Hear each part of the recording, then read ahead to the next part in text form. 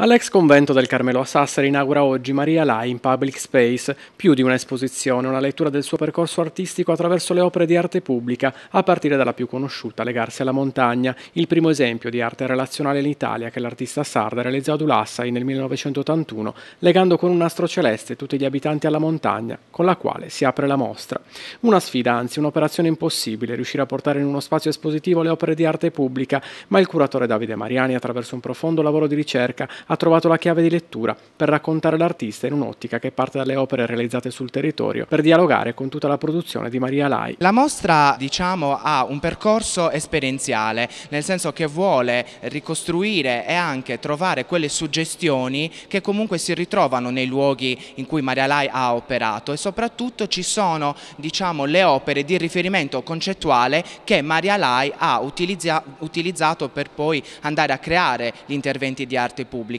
Tre piani di esposizione con 150 pezzi, tra loro anche opere originali e dei pezzi inediti, alcuni dei quali recuperati tra il Ciarpame e dei Fabbri che hanno lavorato con l'artista. È divisa in due sezioni, legare e collegare, Cosmo Microcosmo. L'esposizione temporanea, sostenuta dal Comune di Sassari, il cui di Alberto Pava, è realizzata con il contributo di Fondazione Stazione dell'Arte di Ulassai e della Fondazione di Sardegna in collaborazione con l'archivio Maria Lai. Si inserisce tra le mostre più importanti a livello nazionale. Questa mostra davvero sta a significare il legame che c'è eh, con tutta l'isola, con i suoi paesi e con un artista che è davvero di rilievo mondiale. Maria Lai, Art in Public Space, è un esempio di come l'arte di questa piccola donna dal respiro internazionale e dallo spessore di un gigante non si esaurisce in quello che è noto e celebrato in numerose mostre a lei dedicate, ma ha un ritmo infinito, quello che l'artista stessa invitava a seguire accostandosi all'arte.